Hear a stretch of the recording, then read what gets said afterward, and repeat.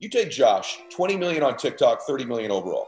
He has more than 99.9% of the top recording artists in the world, actors, actresses, and way more than most athletes, give or take five people on the planet. Okay. Hey, welcome back to Max Out, everybody. So, what can you learn from an 18 year old? You're going to find out today. I have uh, a really remarkable young man to share with you guys today. Some of you for sure have heard of him. And if you have children under 20 years old, every single one of your children know who he is. And let me tell you why. First off, this guy is an entrepreneur um, at a very young age and a very successful one. But we're talking about someone with 30 million plus followers on all social media platforms, 20 plus million on TikTok, um, has founded multiple companies, has a podcast on Barstool Sports with Dave Portnoy um, and he's just done a ton of other very remarkable things. So, Josh Richards, welcome to Max Out with the entire family here, welcoming you to our community. Hey, thank you very much, man. I'm, I'm happy to be on. I'm so impressed, guys. Let me just fill you in a little bit of because you're the youngest person I've ever had on the show.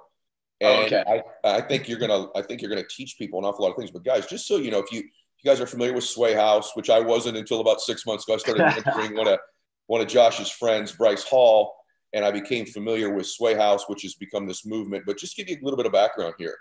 Um, Josh had his first business when he was 13. He comes from yeah. a small town outside of Toronto. I mean, this guy's gone on to have found, uh, he's a, a founder of TalentX. He's got a business he's owned parts with Snoop Dogg now. He's got an energy drink. Um, he's signed his uh, recording artist. He's got his podcast. He's, he's got an investment in Ellen DeGeneres' deal, Unhide. He's the creative director of that you're talking about a ton of different stuff invested in multiple, multiple different businesses. Um, Forbes named him one of the top five most influential people on social media, uh, one of the most successful financially on social media. You're talking about a very remarkable young man. So, first thing, man, I have to ask you, I want to know all you guys.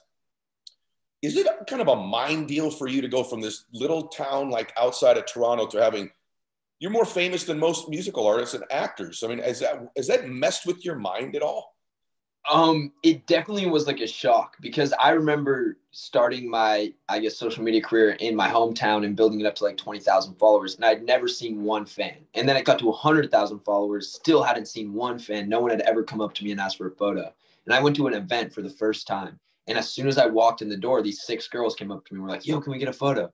And like that was the most blind, mind blowing thing to me that people just wanted to take a photo with me. And like as it's gone on, it's just gone crazier and crazier. And Now it's gone all the way to the point where paparazzi are just filming me eat for two hours, and it's like, it, it, yeah, it's definitely mind blowing. Yeah, I went to dinner with Bryce. It's the first time my for a long time at dinner, no one gave a crap who the heck I was. And, I mean, literally nobody. And I'm talking about people in my demo too. We walk outside and it's paparazzi everywhere. I'm thinking, gosh, this young man at such a young age to be dealing with all of this attention is is got to be unbelievable. So let's start out. I want to I want to get into a little bit about you, but I read recently because you're unique, brother. All the guys in Sway House, and by the way, for my eyes, if you don't know what Sway House is, I'm going to take you all back. Picture the real world, except on social media. All of you that are in your 30s or 40s, you ever watch the real world on MTV? It's almost like a reality show of these young guys' lives. You're unique because you got to be the young 18 year old dude partying and all that stuff. I get all that. Yet there's yeah. the really, and so is Bryce, by the way really savvy, sharp businessman who's getting some of the best mentorship in the world. But recently, a while ago, you stepped away. And like, why did you do that? You kind of got away from it for a little bit. What was the reason for that? Uh, the party? Yeah. Uh, yeah. I mean, I think what ended up happening is we wanted to show everyone like our true authentic selves at the very beginning because no one was doing that in social media. Everyone was putting up a character. And i was actually signed to a manager for two years that didn't let me post any of the content i wanted. He would monitor every single video every single story every single tweet that went out on my account. So when i finally was able to be authentic we went all out. We were like we were showing them every single thing we do if that's partying smoking drinking whatever it is. And then when we got that audience, we got those people that realized how authentic we were. We were like, how how else can we show our true authentic selves? Because if we just show one side of it, if we just show the partying, then we're not being authentic. Mm-hmm. So we're going against what we're trying to do, right? We got to show them everything. And that's when the business came into play. And with that, as I started like growing my portfolio out in the entrepreneurial world, um, there were just there are certain deals and certain, I guess, partnerships that were way more important than going to the next party or going out drinking that night. So it was just kind of like looking at what was more important for for me personally and it was the business stuff. So? I've just been kind of like stepping back, letting myself focus on the entrepreneurial side and grow that out. You're really impressive. And you're you're obviously one of the top content creators in the world. So almost everyone who listens to my stuff wants to create content that people right. want to see. You obviously do it in your demo. But is there any advice you would give just in general to people who are creating content that they want people to see so it grows their brand, it grows their their company, it could grow their income? What which overall content advice would you give? Yeah, I mean, one huge thing and everyone says this but no one seems to follow it is like consistency is key. Like I've said that so many times to people and they'll be like, "Yeah," and then they go and they post, you know, twice a day for two weeks and then it doesn't work out and they're like ah, i'm quitting. Can that's not the trick. That's not the trick. Like mm. i took two years where i was posting five videos a day on on tiktok. It was Musical.ly at the time but two years five videos a day plus live streaming for four hours every single night from 10 p.m until 2 a.m straight four hours. Because i knew the only way i was going to be able to get ahead of the millions and millions of people that are doing social media was to just outwork them Mm. So that's what I did. I, I went I went live all the time. I posted all the time. And then also it's you got to make stuff that's passionate. Like you got to care about what you're creating. You can't just go and copy someone. Like I can't just go look at Bryce's content and be like, all right, I'm gonna post the exact same thing on YouTube, the exact same style, or else you're never gonna grow. People are just gonna look at you as the copycat kid. Yeah. And you need to build out your own identity. It's super important. Um, but yeah, those like building out your own identity and staying true to yourself and then consistency are like the two most important things. So beautiful. I want to go down that road because I did that too. I, well, I, didn't do to the extent you did, which is why I don't have 30 million. I have 10 million.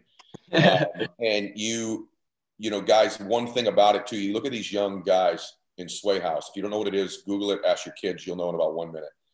But one of the things I said to Bryce is I don't think people understand the amount of work. It looks like a party. It looks like you're having a blast. It is yeah. work to create content.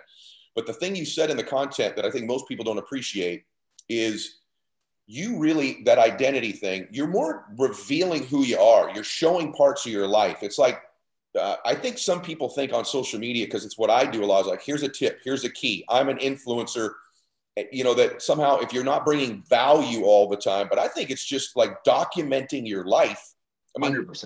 with all due respect to you, you know, I don't think an 18 year old's life who's carrying on in LA is any more or less interesting than a 40 year old mother who's trying to get her kids off to school and get to work every day, right? No, exactly. And there, there's just a whole different side of entertainment that comes with that, right? Like I have a different life, so I can show the entertaining things in mine. But like you said, a mother is going to have a total like different side of it. Like three kids, let's say they had three kids, like my mom has three kids. If she would have set up a video camera and filmed me and my siblings growing up, I'm sure she would have had a ton of followers because we were crazy, but also just like there's so much entertainment in people's daily lives that they don't even realize. That's exactly what I want to, brother. If we do nothing on the show, it's those because I I'm so glad you said it because one, I believe consistency of posting.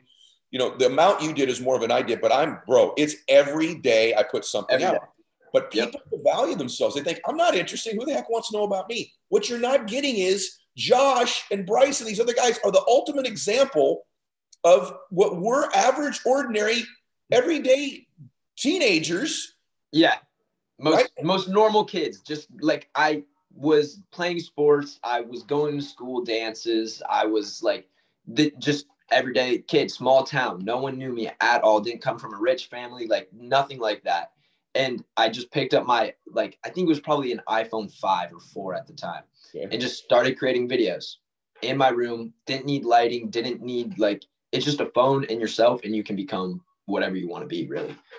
Yeah and are you better at it now? Like are you better on or did you suck on camera in the beginning? Like give people some insight. Or are you already pretty good at this from get?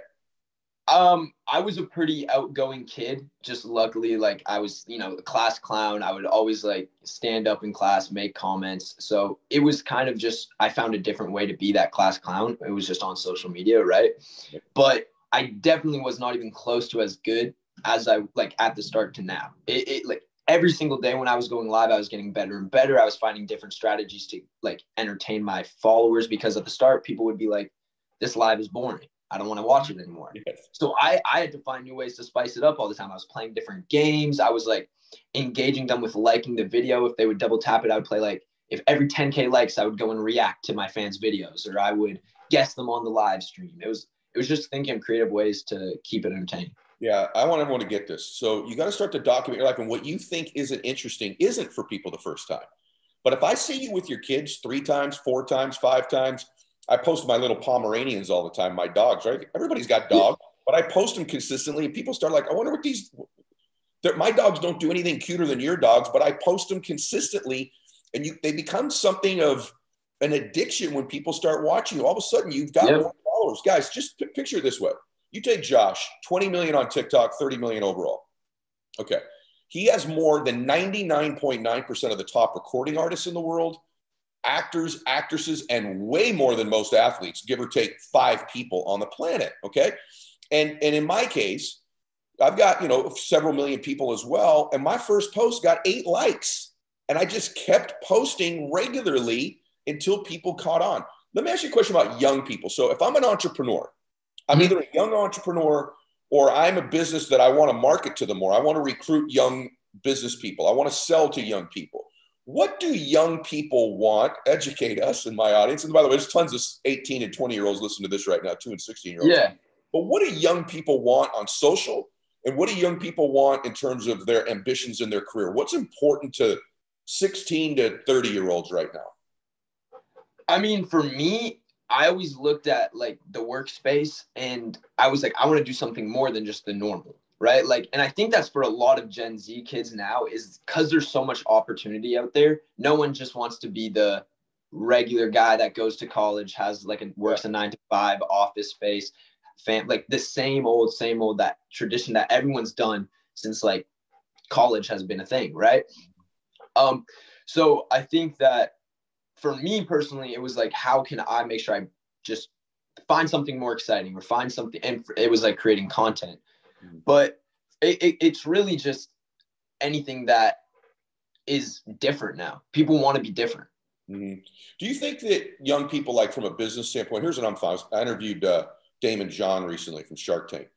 Right. And he had this really, he's got this sock company that's blown up where they, you know, they buy a sock and give some away to the homeless.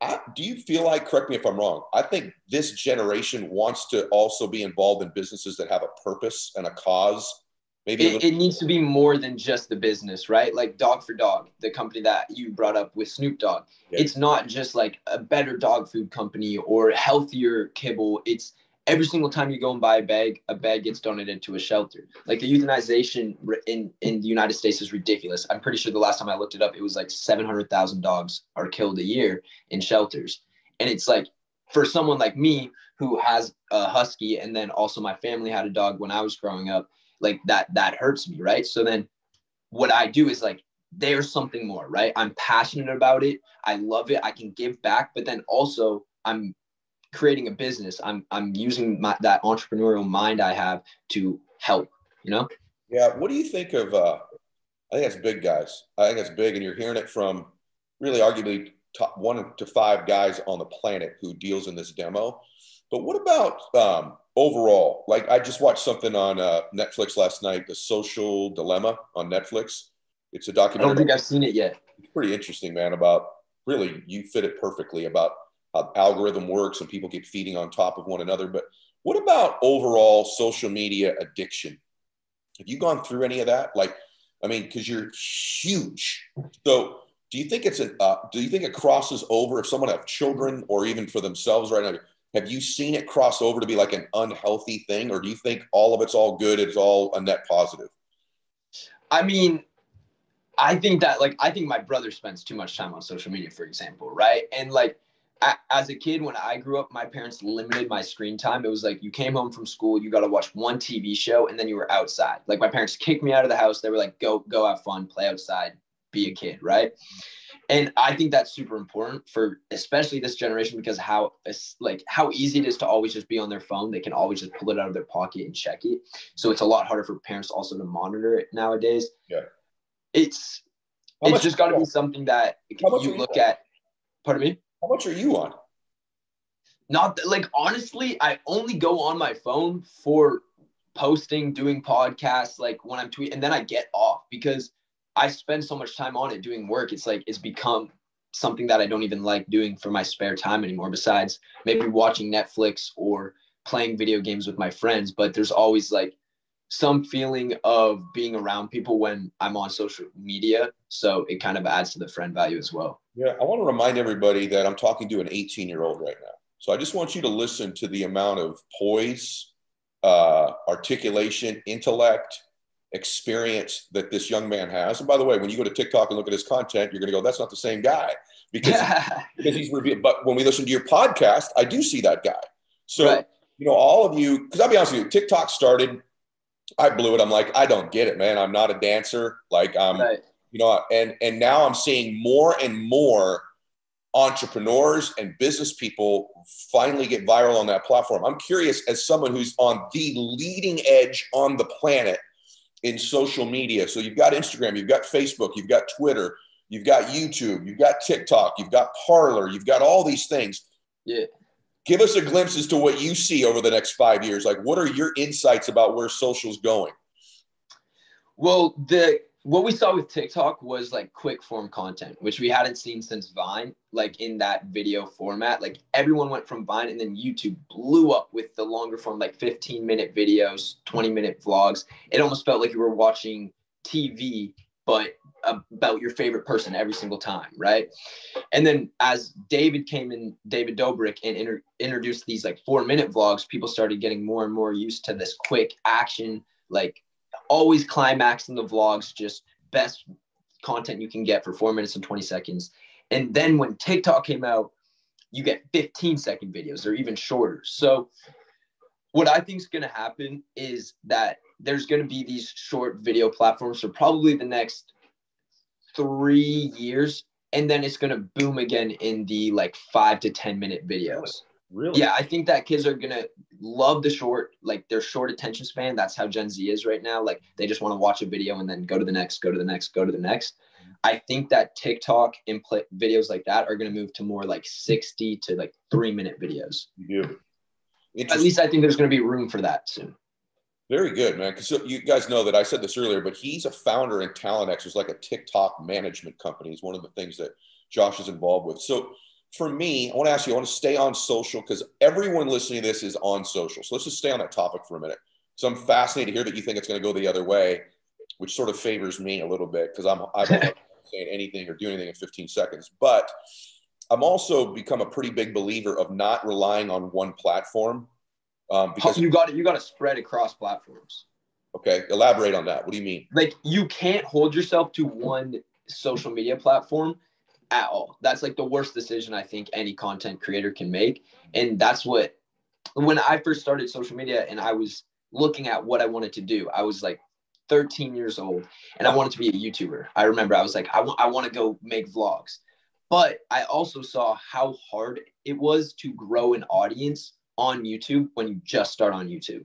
You need something else to push it. So I was like, all right, how can I push my YouTube when I don't have any social medias to push it? Like, where am I going to start? Then I saw Musical.ly and I was like, look, this app is this anomaly where you can grow quite quickly on compared to all these other social media platforms.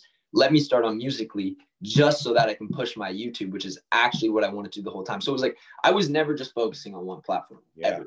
I was always branching out. And then when I grew my Musical.ly, I was like, all right, I need an Instagram because what happens if what happens if that disappears one day? What happens if Musical.ly or TikTok? We saw TikTok almost got banned. Right. Imagine you were just like you were just a TikToker. What would happen to you? Yeah, I think of so Amanda Cerny is a friend of mine. She's been on my show. She was huge on Vine, and then like one day it was gone.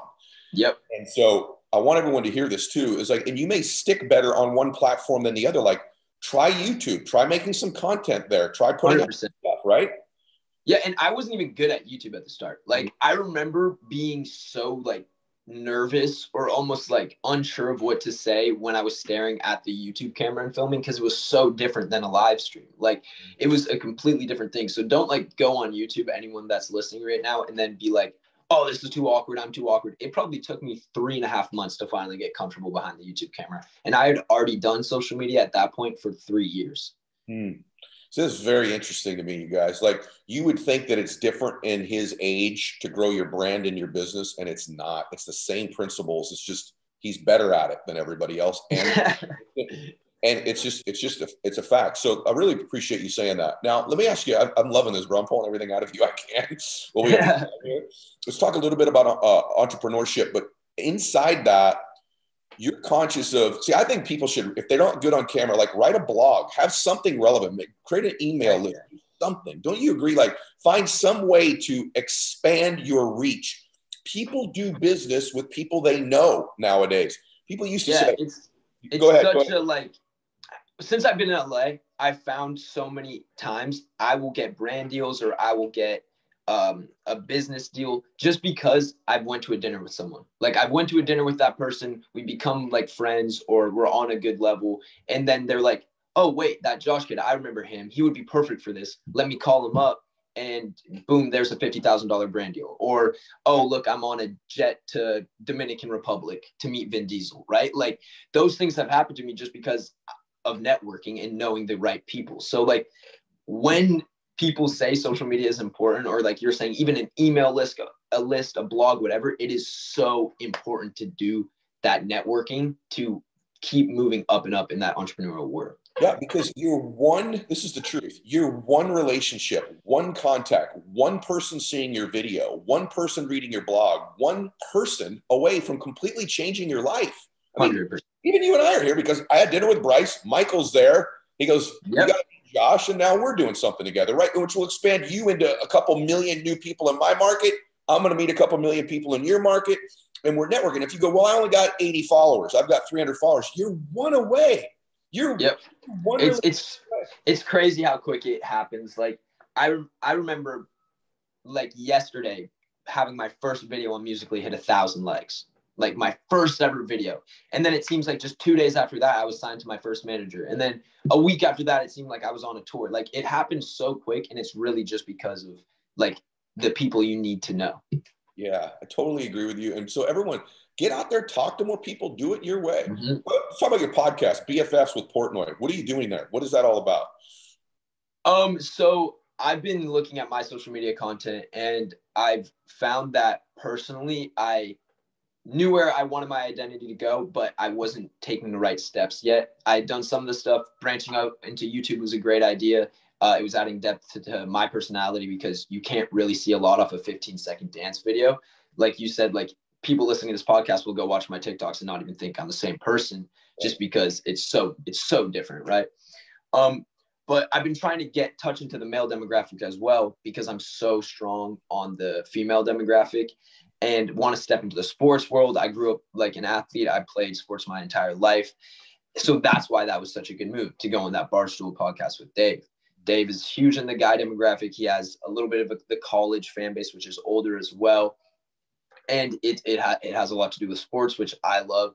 So it was just this perfect crossover because I feel like Barstool also sometimes has trouble reaching the Gen Z mm-hmm. uh, which I reach very well. And also on the female demographic, they don't reach Gen Z very well. So I think it was just a perfect crossover where we both were touching into each other's demographics. Yeah, you uh, are a product of mentors, too, brother. So it's you can't have the amount of wisdom and insight you have without seeking out mentorship. And I was struck even with Bryce by, you know, we went to dinner with a couple other guys and how much he listened closely and uh, and then also told me who else he has sort of working with him. Talk mm-hmm. general, Josh, about the importance of finding mentors and coaches for everybody listening to this. Yeah, I mean, there's been I can probably think of like five, six, seven very important mentors in my life since I've moved out to LA. But just to know that you have the ability to send a text to someone that's been through what you're going through or to get advice have a different set of eyes a fresh pair of eyes look something over. If that's you know a deck for an investment if that's what your next play is going to be in in a business situation or whatever it is like it's just a comfortable feeling. Like i'm able to shoot off these texts to billionaires or people that are very wealthy and have done what i'm trying to do um, and and they give me advice, or they'll hop on a 15 minute call with me and just go through what I'm I need to vent out. You know. What you do though that people don't get, first off, you should all be seeking a mentor. But when you, are, when you are one like me, let me tell you what you watch. Do they do what you ask them to do? And then they can Right. for more. Nothing's more frustrating than someone asking you for your time, asking you for some counsel. Like today, today's a mentor call for your social media, for you moving into the younger demo, and we're telling you things you should be doing. Get on more than one platform, post more consistently, document your life, tell a story. Right? We're talking about those things you need to do. Build your identity and your brand. Are Mhm. you going to do these things? They actually work. So for you, some about entrepreneurship, you get approached with a bazillion deals. And he's had Right. mentorships like the Van Winkles from Facebook, Ashton Kutcher, different people. How do you determine that this is a business I want to invest in because you put money in stuff or just partnering with somebody? How do you make that determination? Um, sometimes it depends on like the the product, like eh, how passionate I can get behind the product. But a lot of the times it has to do with the founders. Like when I see a good founder or I believe in a founder very strongly and I know they are a good one, they're gonna make it work. Great founders always find a way to flip their product, change it if it doesn't work. Like they find a way to succeed and ha- make you have an exit, right? So it, a lot of the times it's it's looking at those founders that are involved. Do you work on yourself at all or are you too young? Like if you started kind of reading, um, are you just kind of mirroring what these mentors give you? Are you trying, how do you grow your own identity? How do you do that when the whole world's telling you you're amazing, you're 18, 30 million people, you can't walk out of the front door. He's back in this town in, outside of Toronto that he's in right now. I can't even imagine when you go outside there. How do you, the reason the question is this is, is let me tell you what I mean by asking. A lot of people listening to this have had some success. And I think they grew to get to that success level. And here's what I watch with humans they get to a certain point that maybe exceeds where they thought they'd ever get. And They they, get comfortable. growing themselves. You got it. So, what are you doing about that? Um, so for me, like I'm I'm analytically tracking. I'm very analytical person. My dad's a calculus teacher, so I was Really? just like I remember being eh, like three, four, four years old, and my dad had the timetable out, like the 12 by 12, going through it with me, making me memorize every single time stable. Like, so I've always just been a person that's driven by numbers. So what I do is I'm tracking my numbers all the time. If that's like in growth, if that's like how many likes I'm getting proposed, how many comments, um, the like how many people I'm converting a day from my TikTok to my Instagram. And when I'm tracking that stuff, I'm making sure it's never going down. Like that's what keeps me driven to just go up, up, and up. The only thing I have to say about that is like you just need to make sure you don't lose yourself in the content and trying to always beat the old content by going crazier and crazier because I think that that is a road we went down like Sway when we started getting in a lot of trouble in the media. There was a point when we were just always trying to outdo ourselves and that got us in trouble. But we kept going and we kept pushing ourselves forward. So in the end, we did it, we made it work. But you just you just can't get comfortable. If that's putting yourself even in uncomfortable situations like starting YouTube or going on a brand new podcast or like just add depth to your portfolio so then you're never comfortable. You guys were listening to an 18 year old. I mean, so just what you said, so, you know, I coach large groups of entrepreneurs. I have something called Arete Syndicate where I coach entrepreneurs. One of the things I'm psycho about is tracking metrics and data. I cannot get over how many people that are either entrepreneurs or even in like fitness. So they say they want to get fit. They don't track their calorie intake. They don't track their water intake. They're not specific about the Ah. weights and the reps, right? You know this from your Yes, I know. I'm tracking my calories right now. I'm trying to get uh, every day. I'm trying to get like 300, 3,500 calories right now. yeah, and I'm trying to not eat 3,500 because I'm more than double your age, right? But the same exact thing. You're trying to gain weight, but like, how are you going to get super fit if you're not tracking it? If you're not measuring your body fat as an Exactly. entrepreneur? I mean, so many entrepreneurs they don't know their data. They've got no idea how many contacts are, how many leads, what's in the pipeline, what their revenues, what their and like it's brilliant to hear that on social, which is your main business, you're a psycho about the metrics and the data. It's awesome. Dude, I've been someone that's been so focused on like the customer since day one. Like how mm-hmm. I blew up on social media was not a natural way kind of to blow up, I would say. I, I feel like I cheated the system and I don't think people are going to be happy to hear this. But what I pretty much did is I, I had Musical.ly, right? I knew this platform, it was easy to grow on, but it was going down in relevancy. So I hired my sister on a 15% commission based salary when I was 14 years old. And and I was going live on the platform because I found out you can make money on the platform. the other thing I found out was when I went to the leaderboards on the live stream app, they actually showed you a list of the top 250 highest donators. So the people that donated the most money in a live stream. So while I was live every single day, I would get my sister to go through all those 250 people, tap on their profile, follow them on my account. She'd be logged into my account. She'd follow them, like seven of their posts, and then unfollow them and swipe off. And she went through the entire list. So I was going directly to the consumer, the highest paying customer, because I was I, I knew that I saw the list. So I didn't need to have the most followers on the app. I had, I think, 80,000 followers but I was the highest paid live streamer on the app compared to people that had 7 million, 10 million followers because I was going right to the customer. And then also had my sister going to the biggest Musical.ly like uh, creators going to their comment section because those were the most engaged followers. Obviously, they liked the video and commented. And then she would go to all the positive comments, the people that loved on that person, and follow them on and that like their posts, unfollow them, and then they would follow me as well. So then I was gaining. We did two we would do uh, until we did it until I would gain 250 followers every day. And then I would make sure that I was gaining or I was making minimum $500 a day too. So we would go live and she would be going through and following that until I made 500 and then 250 followers every single day minimum. And then that grew up to 500, that grew up to a thousand, that it just kept going. Okay. All time on the show, one of my favorite things ever, ever freaking said. First off, it's incredibly vulnerable and honest. Yeah, people are people are gonna be like, Josh is a fake social media thing now because I like I think, I, I think we're a little past you having to worry about that. Like yeah, yeah. ago. But but everybody stay on this. Okay, a couple things to unpack there. Number one, a dude with 30 million was literally going back and liking seven a day and getting like that's how you grow. How many of you are yep. doing that? So my my social media team's watching us do this right now.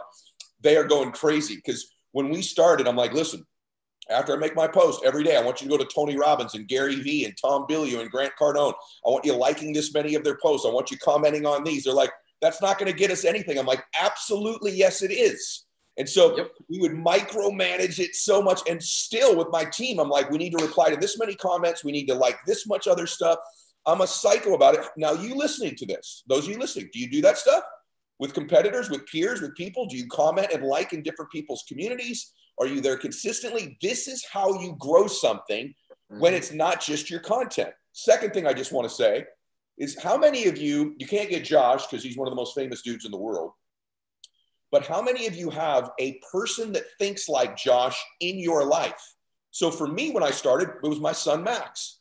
He'd do the likes. He edited my podcast. He sort of helped me with content. You got to have someone in this age. It's probably your kids, guys, who's like, hey, just go over there, right? But like you got to have someone. You were that person, both the creator and the person doing it, right? It was you.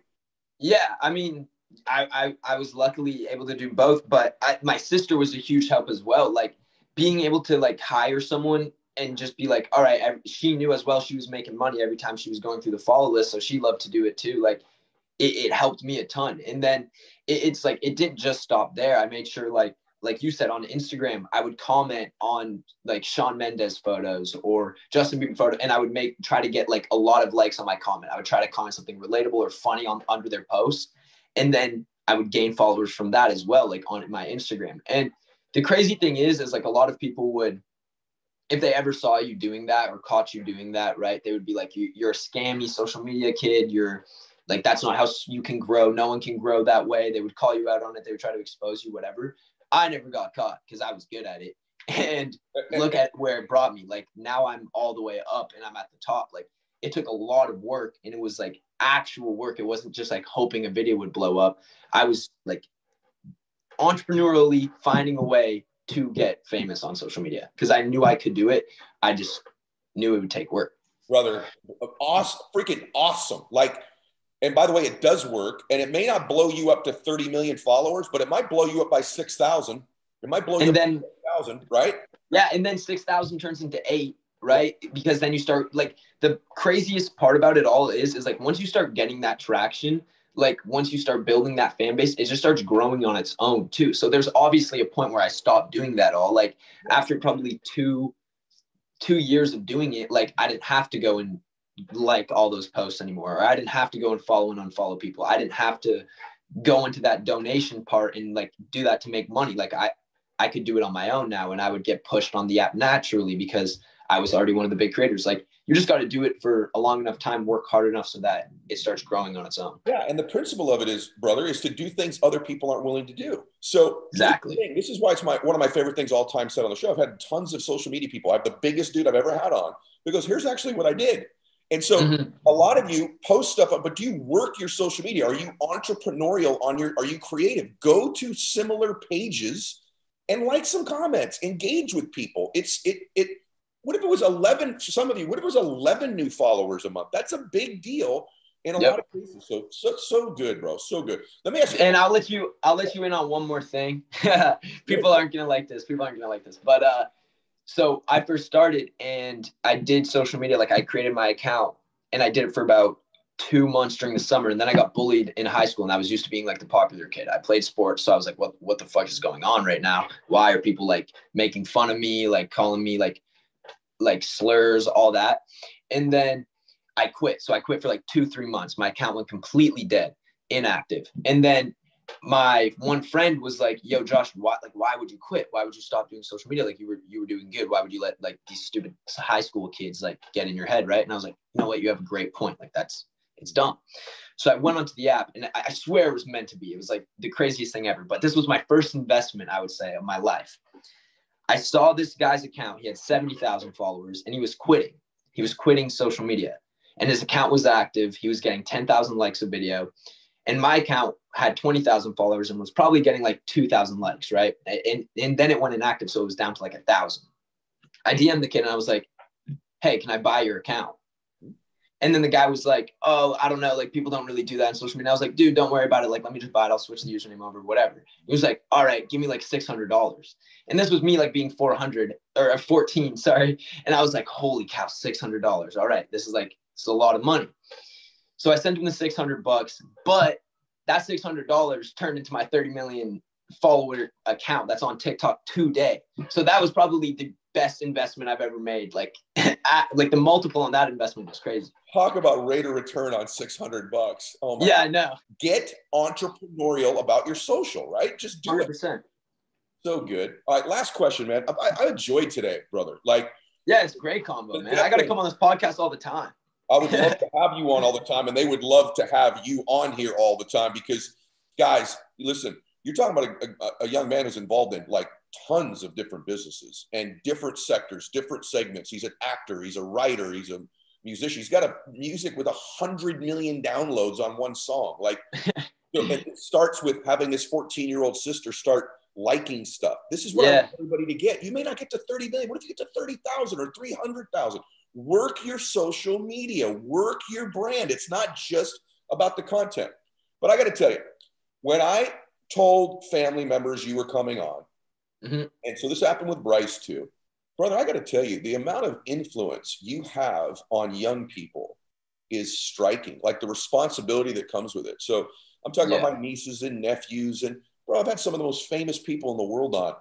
I say I got Josh coming on. They're like, what? Oh my, you know, like and it's a hmm. demo that buys. It's a demo yep. also though that right now it's kind of a vulnerable demo, man. There's a lot 100%. of young people that feel alone. Their suicide rates are up. There, yep. there's pressure because there are such successful dudes like you to be successful very young. And if you're 23 and you're not, you're past your prime. You know, there's right. all of that stuff. So I just want to give you the floor. I want the parents to hear this, and if they have children, play this part at least of the show what would you just say to kids? Like overall advice. I give you a microphone, which you have every day, but now it's not a 15 second video. Just young people. Here's some of my counsel to you as a dude you all kind of look to. Well, the first thing is like something that you said there that like I feel very very responsible for is like with power comes responsibility. That's something my dad said to me day in and day out every single day as a kid because he always felt that I was going to be something more than just a, a regular kid. So I have that tattooed on my arm. Like I live by that. And just the one thing I want to say to everyone out there is you got to stop comparing yourselves to the people on social media all the time because that is the highlight of people's life. Like that's what I think people are missing. Like you post on social media, like no one posts on social media now when they look bad, which kind of sucks. Like I remember Instagram used to be the most casual thing ever. Like I would post a picture of my smoothie that I just made, right? Like it didn't need to be this like over edited, all that. Everyone tries to compare themselves to these models on Instagram, or guys might try to compare themselves to the Sway Boys on Instagram, whatever. You got to stop doing that because obviously we don't post like the worst photo of ourselves. It's just it's strange. I think it's it, I get why people do it. They just got to get over that. The same thing why I love TikTok though is because it's created this notion where you don't need the quality, you don't need the lighting, you don't need the like the camera, which is awesome. So that's why, yeah, I just love being able to post on there too. Very good advice, brother. Comparison is a formula. I did a whole podcast on it for adults and young people. Comparison to people's highlights, comparison to the best one minute of their day, comparison to their best lighting, comparison to your former you. Even compared yeah. a year ago or you at a different moment in your life, it's a thief of bliss. It's a thief of joy. And um, I could not t- agree with you more. And I do think it's more pronounced with younger people, but I think it's an epidemic with all people is comparison. And uh, bro, I I'm so impressed with you. And I, what I'm really glad is I hear a lot of people say, ah, these sway house guys or ah, social media people, these young people blowing up. And they just got a sense of this remarkable young man. He's, he's humble He's got perspective. He's got a big for entrepreneurship. Check out his podcast, by the way. Follow him on social. And I got to tell you, brother, I'm really, really grateful that we met. I think you helped a lot of people today because I got one of the world's best social media people to give them actually the real scoop, which is not the surface BS stuff. You actually yeah. So so thank you. No, so yeah, I don't I don't know if I went that in depth about like how I grew on social media and all like the little hacks and stuff. So hopefully people actually listen to that and take it seriously because I always felt like I would get in trouble if I ever kind of went off and said that, but now I don't care. So do follow those tips. Like they they do work. You just gotta like you gotta be a workhorse. You gotta have work ethic. Nobody ever shows that side of it. And I really appreciate, you know, you doing that. And if it did, you know, ruin you, you you've made millions of dollars. You're okay. But I'm pretty sure you're safe. So. all right, brother. Hey, God sure bless you, man. And uh, everybody, I hope you enjoyed today. Please share today's show. I know it was of tremendous value to you with everybody that you love and care about. God bless you all. Max out. Hey guys, thanks for sticking around. If you'd like more, click the videos right here. They're exactly what you need to see next. And if you're new here, hit subscribe and become a part of the Max Out community. And tell me what you think about the videos in the comments below. I read all of them every week, and I select winners that get all kinds of prizes, gear, coaching calls with me. Make a comment.